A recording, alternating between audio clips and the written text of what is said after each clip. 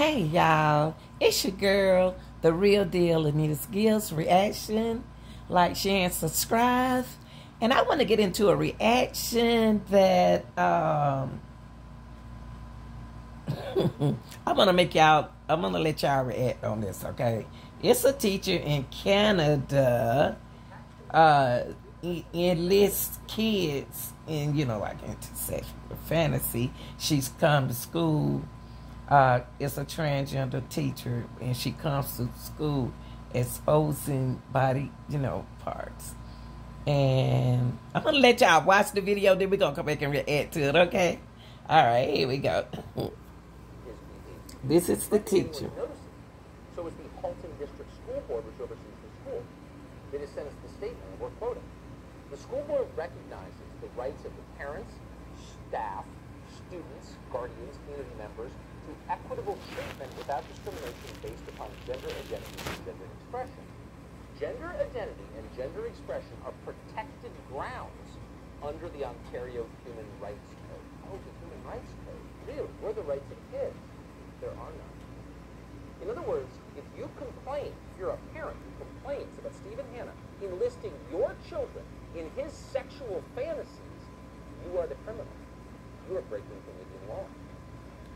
For the most part, the Canadian media, the most supine media that speaks English, are siding with Stephen Hanna, the sicko.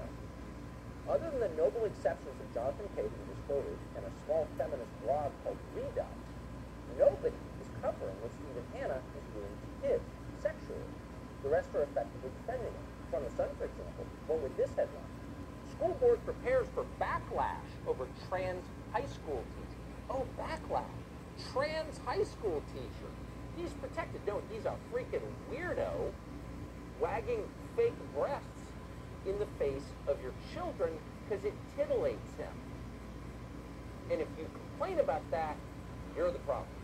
So the problem is parents, not the pervert in the classroom. It's hard to believe this is happening, but we're sad to tell you it's not just happening in Canada. You see versions of it everywhere, including in this one. Okay, y'all. What's going on is a Oakville Trafalgar High School disagrees. In fact, a Oakville Trafalgar High School has an has in, institution, institutionalized child abuse. The school policy state that dress code must prevent students from wearing clothing that expose or makes visible genital or nipples. But the policy doesn't apply to the teacher who who are free to expose their. So in other words, um, the teacher decided, the transgender teacher decided to come to school and expose himself due to the fact that kids can do it. So uh, he'll do it for them. So uh, he decided he a Canadian school. It's a Canadian school, y'all, of all. And what they was uh, doing, defending the guy. They was defending the trans teacher who wore giant breast to class. He won, but uh, nobody has nothing to say about it. So I don't know what's going on. I never seen nothing like this. But he wore giant breast to class. Yes, this this teacher right here, and he's he was exposing himself. It's a Canadian teacher, and it and the teachers and and the students they felt like nothing was wrong with it. But then you said uh, that the kids can do it.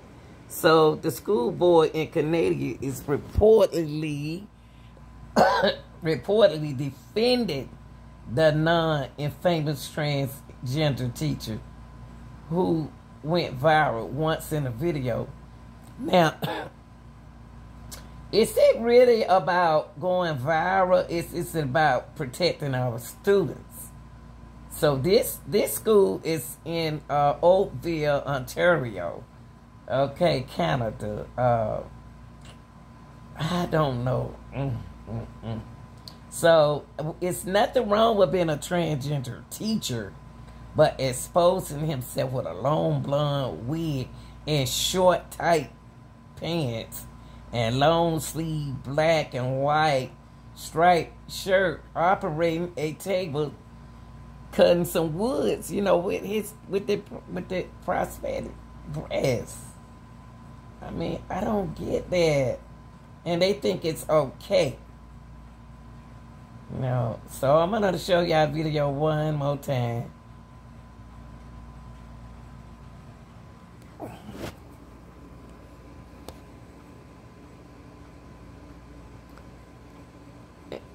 And he came to school like that. And once again, it's not the point of being transgender. It's what he wore to school. This is school policy.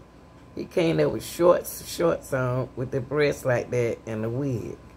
Yes, let's view it again. I don't know what point he was making, but we'll see it one more time. Hold on.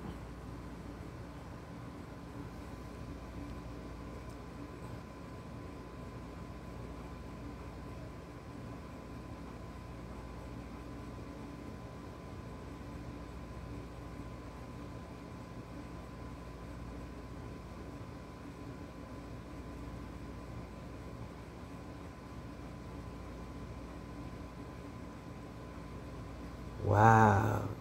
Y'all tell me what y'all think in the comment section. It, he more like a wood tat teacher. And wow. Tell me what you think. Like, share, and subscribe. I'm out.